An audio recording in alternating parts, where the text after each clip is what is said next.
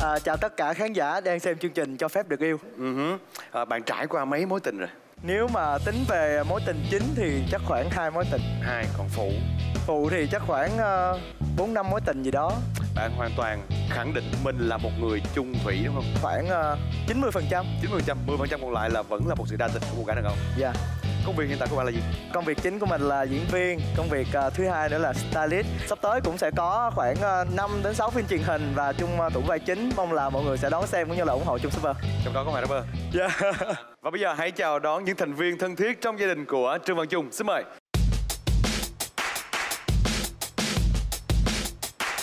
xin chào cả nhà Trung giới thiệu với mọi người đi nào À, xin giới thiệu anh Hoàng với lại tất cả khán giả đang xem chương trình. Người à, phụ nữ vĩ đại nhất mà Trung à, từng có đó chính là mẹ của Trung đây. À, người thứ hai là cô em gái Mitu. À, người thứ ba là Trung xem chị như là một người chị ruột trong gia đình, chị à, Thúy.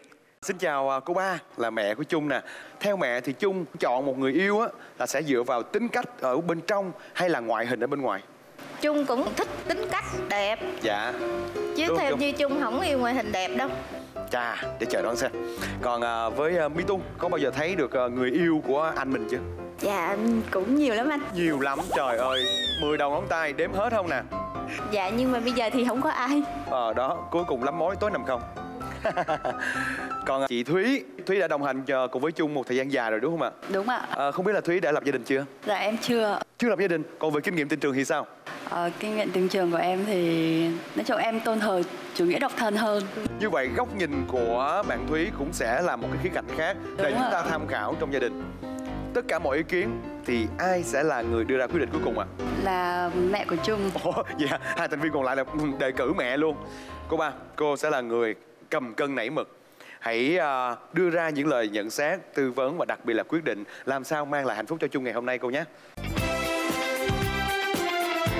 Xin nói chào quý vị đang quay trở lại với Cho phép được yêu.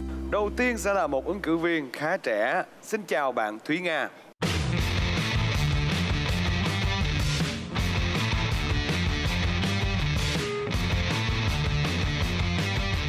Nga ơi, chào bạn. Dạ em chào anh Hoàng Rapper Theo thông tin tôi được biết là Nga cũng cùng độ tuổi với ờ, Trương Văn Trung luôn. À thế ạ Dạ, cùng 27 tuổi. Độ tuổi này rất là đẹp. Giới thiệu đôi nét về mình đi nào. Trước khi được giới thiệu về mình thì em xin phép được gửi lời chào đến gia đình của anh Trung ạ Dạ, thay mặt gia đình anh Trung, dạ chào bạn.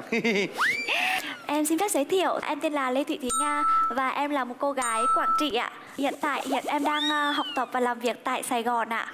Em là con một trong gia đình thì bố mẹ em đều đang làm việc công tác tại Lào. Hiện tại thì em đang học tại Học viện Hàng không ạ. Ôi, giọng nói rất ngọt ngào, rất lưu loát. Vậy còn tình yêu thì sao? Em cũng đã có hai mối tình rồi, một mối tình thời sinh viên và một mối tình thời em đi làm. Và hiện tại đến nay thì em đã chia tay được một năm. Lý do tại sao ạ? Là bởi vì ờ, người em yêu anh ấy đang làm ờ, ở Đà Nẵng, còn em hiện tại đang ở Sài Gòn. Về khoảng cách địa lý thì ờ, nó làm ngăn cách đôi lứa thôi anh. Hả, yêu xa hơi ngại ha. Ngoài yêu xa ra còn lý do nào nữa không? Vấn đề thứ hai đó là về độ thấu hiểu nhau ấy ạ. Vào cái thời mà em yêu bạn ấy, em chưa đủ trưởng thành để em có thể hiểu bạn đó. Bởi vì cái khi đấy cả hai chưa đủ trưởng thành để thực sự gọi là hiểu nhau và yêu nhau nhiều ạ. Ồ, bạn làm tôi khá bất ngờ. Thường á, là các cô gái hay đổ lỗi cho đối phương. Còn đằng này, Nga là nhận ờ, cái phần khiếm khuyết thuộc về mình. Bạn chưa đủ hiểu đối phương. Vậy ờ, không hiểu nhau rồi cái người kia mới thấy có một cô gái khác hiểu mình hơn cái người ta bỏ bạn người ta theo ờ, người thứ ba hả Dạ, khi một mối tình đã qua dù anh ấy có lựa chọn một cô gái khác hay anh ấy lựa chọn em thì đối với em đấy vẫn là một điều hạnh phúc bởi vì khi hai người yêu nhau quan trọng nhất là họ tìm được niềm vui và hạnh phúc anh ạ. Nên em thực sự không có nối tiếp hay hối hận hay là trách bất cứ điều gì cả. bạn có từng bao giờ bị người yêu phản bội chưa À, em không cho đó là phản bội và đó là một sự lựa chọn khác. trong quá trình đang yêu bạn bạn không cho đó là phản bội mà là sự lựa chọn khác đổi qua một cái option khác Anh ơi, uh, khi hai người đến với nhau là hai người sẽ cùng nhau tìm hiểu, cùng nhau yêu nhau. Em cũng có một tình yêu, anh ấy cũng có một tình yêu và khi hai bọn em đến với nhau thì hai chúng em cùng giao thoa tình yêu đấy để cho tình yêu nhân đôi lên chứ không phải là chúng em lấy mất tình yêu của nhau. Vì thế mà khi anh ấy có một sự lựa chọn khác thì đấy là sự lựa chọn của anh ấy. Bởi vì khi anh ấy lựa chọn sự lựa chọn khác, anh ấy cũng đã thẳng thắn với em. Anh ấy không phải là một lúc mà yêu nhiều người. Wow. ngộ ha. Vậy như vậy theo bạn khái niệm phản bội là như thế nào mới gọi là phản bội? Trong em em không có khái niệm phản bội anh bởi vì dùng hai từ này thực sự là rất là tiêu cực. Và em thuộc tiếp người có thể gọi là lạc quan. Và em cảm thấy rằng hai người yêu nhau hợp nhau thì đến với nhau. Mà nếu không hợp thì họ có quyền có sự lựa chọn khác. Vậy nếu sau này lấy chồng rồi à, đã lập gia đình lên phường à, kết hôn luôn cái Dạ vâng. có con luôn cái tự nhiên không chồng cái đi ờ, du hí ở ngoài cùng với những cô gái khác. Thì bạn thấy đó là một cái hành động thay đổi lựa chọn hay là phản bội?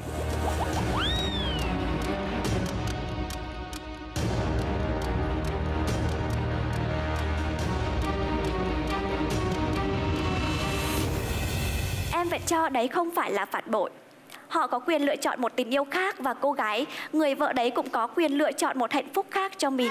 Thánh nữ trời ơi!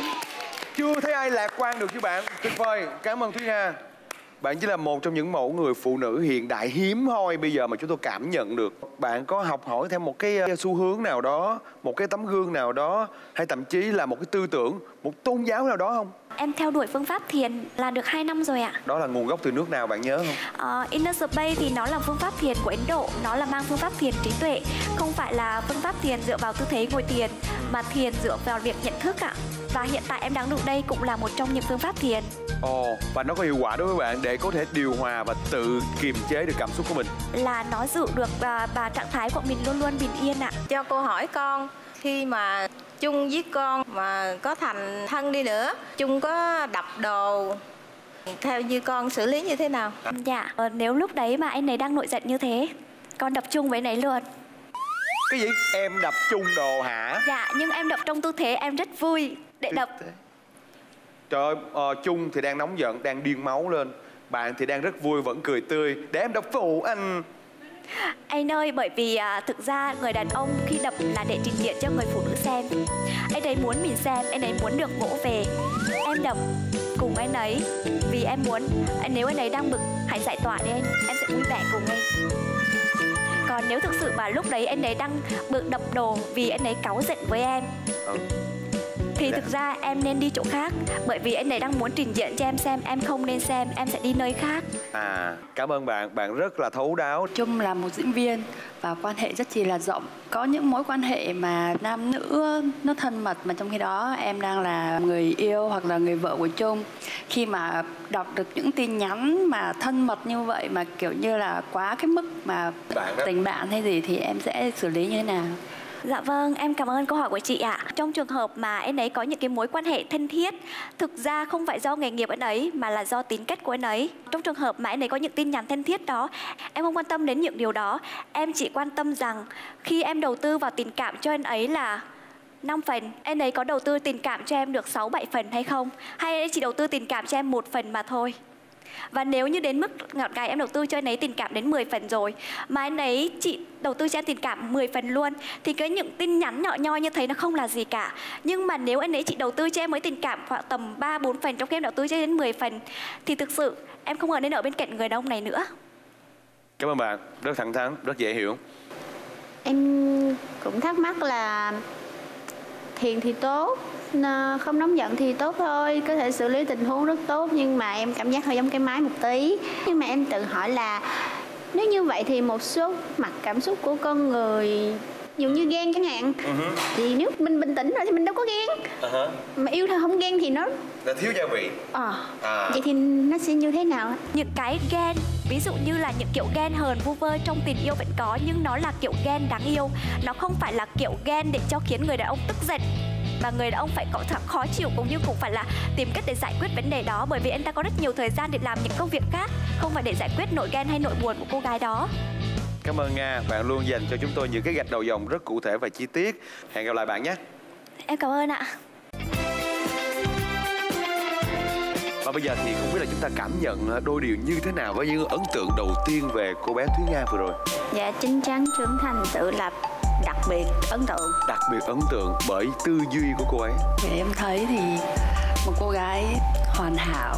Vì cô ấy luôn suy nghĩ cho mọi điều đều được tốt đẹp. Cô, cô ấy luôn để cho mọi thứ ở trạng thái tĩnh cô thúy nga này rất mạnh mẽ mạnh mẽ hơn chung Dạ, vậy cô nghĩ xứng không? Thấy cô này về chắc có lẽ là huấn luyện được chung hay sao? Hai đứa cùng ngồi thiền luôn. Và dạ, lên đám cưới tất cả quan viên hai họ, hai bên ngồi xuống 5 phút thiền đi. Thiền. Thiền xong, ăn ăn xong. Rồi tới đêm, tân hôn, động phòng, vô thiền. Thiền tới sáng. Khỏe quá. Và bây giờ, xin mời quý vị hãy gặp gỡ ứng cử viên thứ hai. Chắc chắn sẽ còn nhiều điểm sáng hơn nữa. Và xin chào, thiên thanh.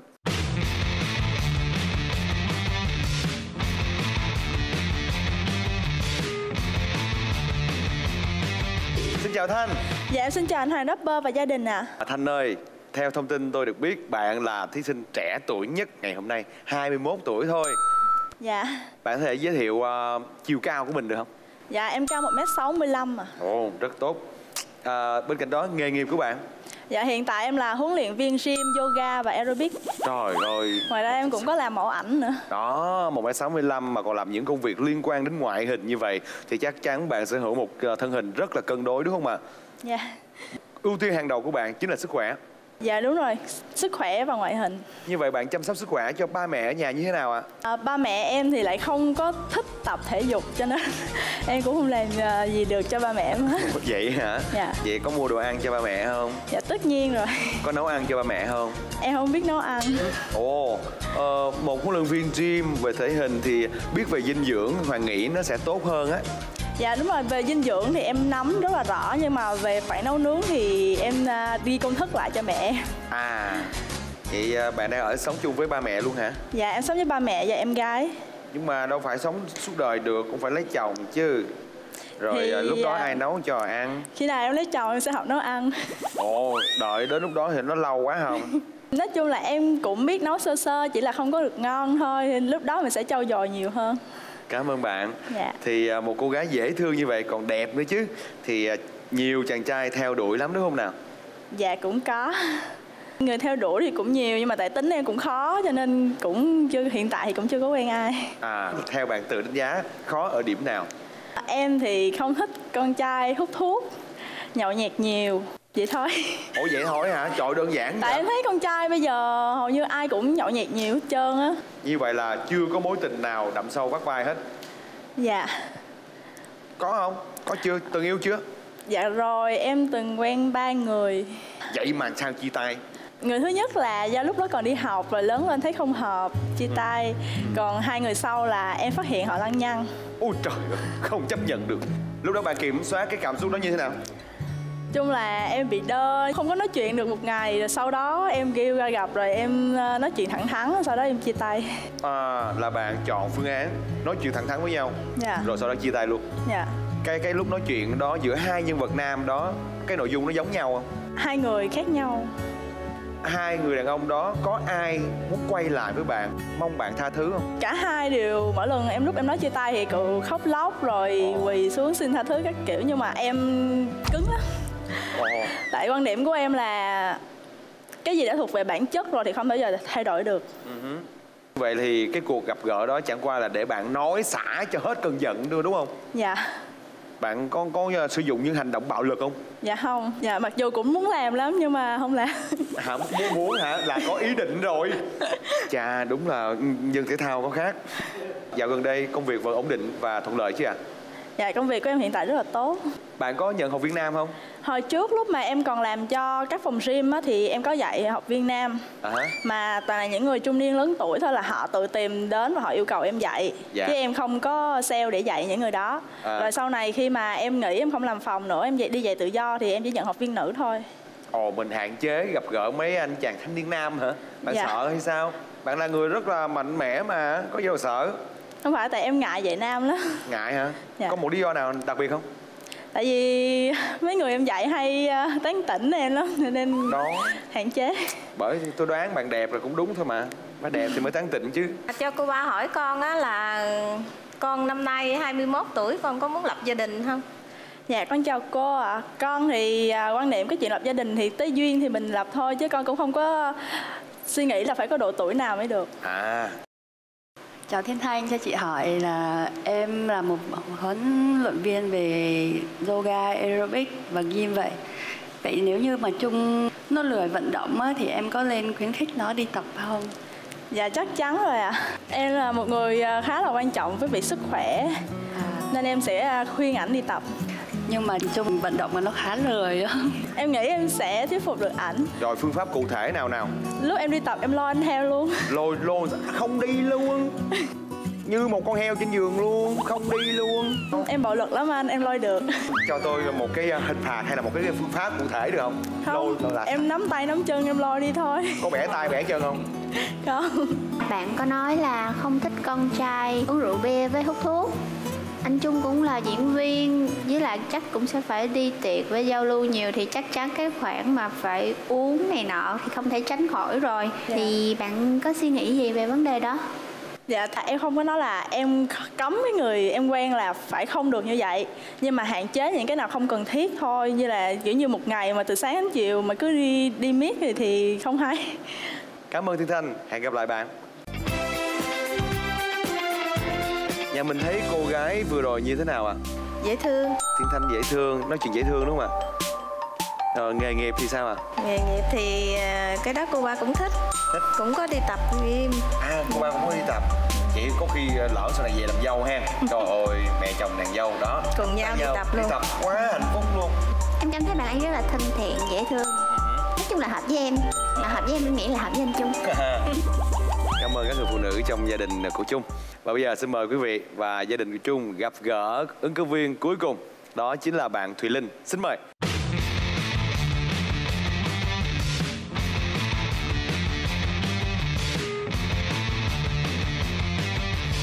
Xin chào Thùy Linh.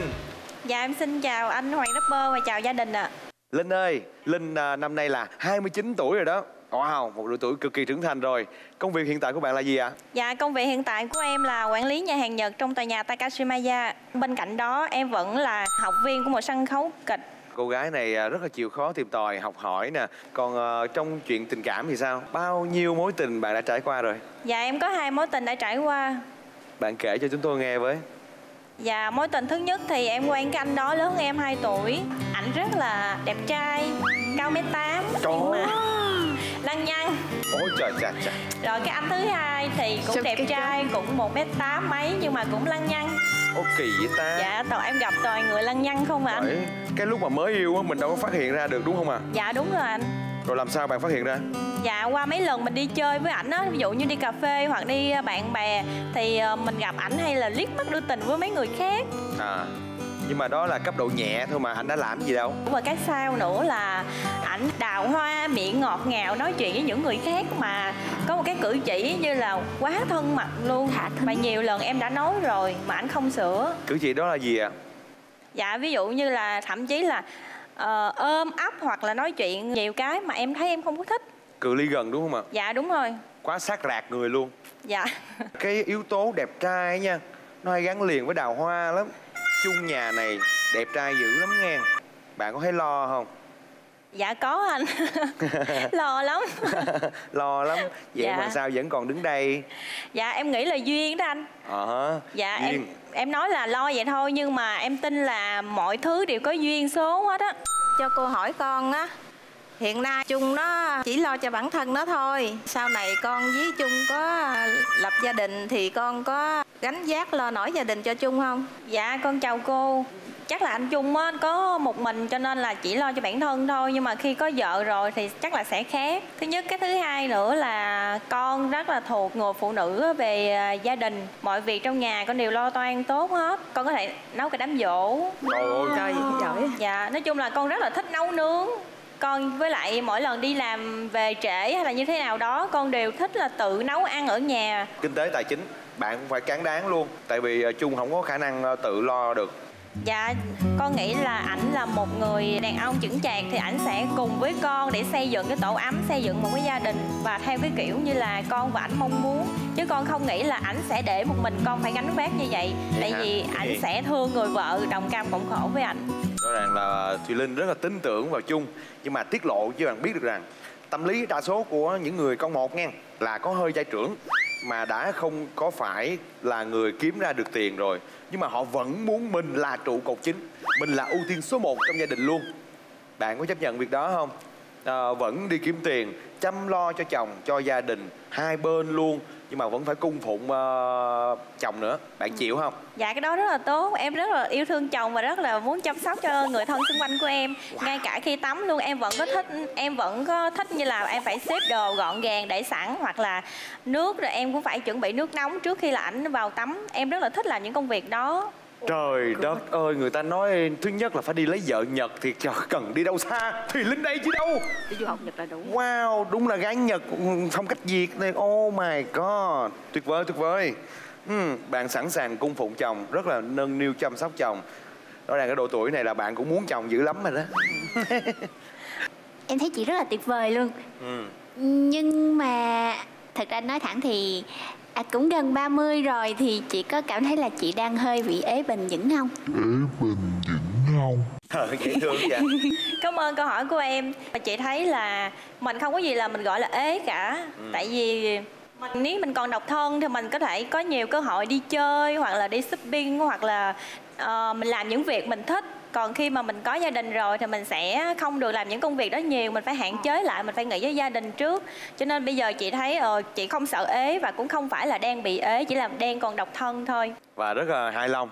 Và cuộc sống như thế nào bạn đều rất là biết cách thích nghi. Chứ chị hỏi là nếu mà em quen Trung á, mà Trung á, nhỏ tuổi hơn em thì em có ngại mọi người nói là em là phi công lái máy bay bà già hoặc là em đang nuôi trai trẻ chẳng hạn. Dạ cảm ơn chị.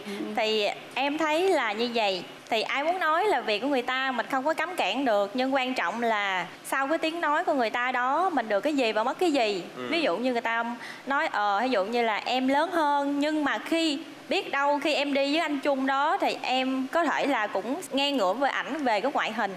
Và bên trong thì á em và ảnh cùng hiểu cái vấn đề và cùng xây dựng. Nói chung là hai người cũng cùng phải đi về một hướng á là mình cũng xây dựng với nhau và nói chung là mình hạnh phúc là được ai nói gì kệ người ta.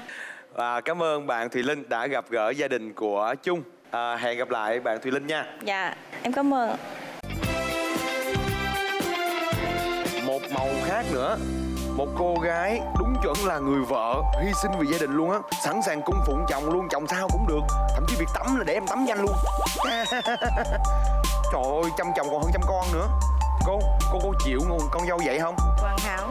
Hoàn hảo luôn. Cô thích vậy đó. Rồi thích thì sau này thí dụ mình tuổi về chiều đi cũng có con dâu ờ, cung phụng mình á. Mình lúc mình yếu á cái con dâu cũng tắm tắm cho mình cô chịu không? Thích chứ. Ồ thích luôn Em thấy còn một cô gái hoàn hảo biết nấu nướng, biết chăm sóc gia đình, một cô gái ở chỗ gia đình. đó. Và nếu mà có chị dâu như vậy thì quá sướng. Sướng luôn hả? Quá sướng. Mỗi cô gái, mỗi ứng cử viên đều có điểm sáng của riêng mình Nhưng ai sẽ nói lời tạm biệt đây?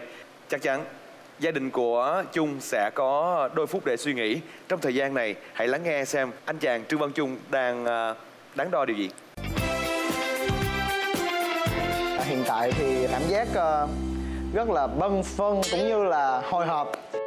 Thật sự là rất là ấn tượng với nga. Một cô gái có một cái sự giao tiếp vô cùng nhuần nhuyễn và một cái suy nghĩ rất là tay, rất là hiểu cho người yêu của mình. Khi một mối tình đã qua dù anh ấy có lựa chọn một cô gái khác hay anh ấy lựa chọn em? Thì đối với em đấy vẫn là một điều hạnh phúc bởi vì khi hai người yêu nhau quan trọng nhất là họ tìm được niềm vui và hạnh phúc cô bé thứ hai là thiên thanh. Theo chung nhìn nhận và cảm nhận thì à, cô gái này rất là giống với lại người yêu cũ của chung có một cái gì sự tự nhiên làm cho chung có cái cảm giác nó gần hơn. Em không biết nấu ăn. Khi nào em lấy chồng em sẽ học nấu ăn. Còn cô gái thứ ba nữa hiện tại thì con tim đang đánh mạnh đang đập mạnh về bạn linh. Bởi vì chung không quan trọng vấn đề tuổi tác mà quan trọng về vấn đề đạo đức cũng như là cách sống và cách làm việc của linh. Em rất là yêu thương chồng và rất là muốn chăm sóc cho người thân xung quanh của em. Ngay cả khi tắm luôn em vẫn có thích như là em phải xếp đồ gọn gàng để sẵn hoặc là nước rồi em cũng phải chuẩn bị nước nóng trước khi là ảnh vào tắm. Ở trong ba người à, người nào cũng làm cho chung sao xuyến à, nhưng mà người sao xuyến nhất là linh Chào mừng quý vị đã quay trở lại với Cho phép được yêu. Bây giờ sẽ là khoảnh khắc để chúng ta nói lời tạm biệt đầu tiên với một cô gái, một trong ba ứng cử viên vừa có phần à, ứng xử qua tấm màn bí mật với gia đình của Trương Văn Trung. Và xin mời ba ứng cử viên quay trở lại sân khấu.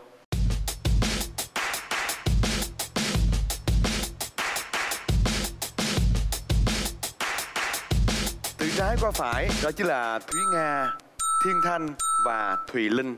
cả ba đều là ba mảng màu khác nhau. Ba mảnh ghép này mảnh ghép nào phù hợp với chung nhất? Mảnh ghép nào sẽ phải nói lời tạm biệt đầu tiên đây? Xin mời cô ba nói ra lời quan trọng. Cô gái và gia đình chúng tôi sẽ nói lời tạm biệt là là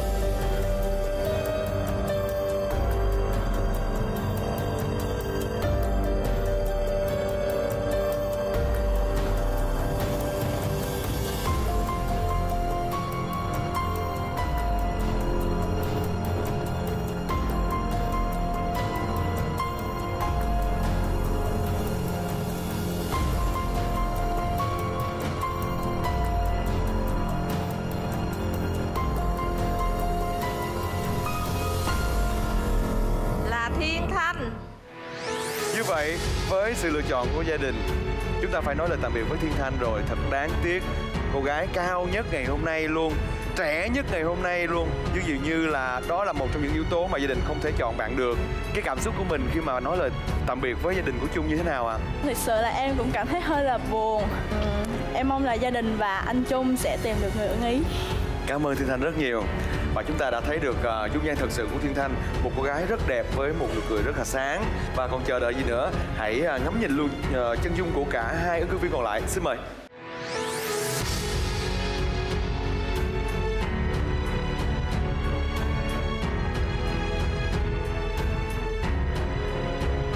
Đây, cả ba cô gái và Thiên Thanh cũng có rất nhiều lợi thế về ngoại hình nhưng thật đáng tiếc khi phải nói lời tạm biệt với bạn.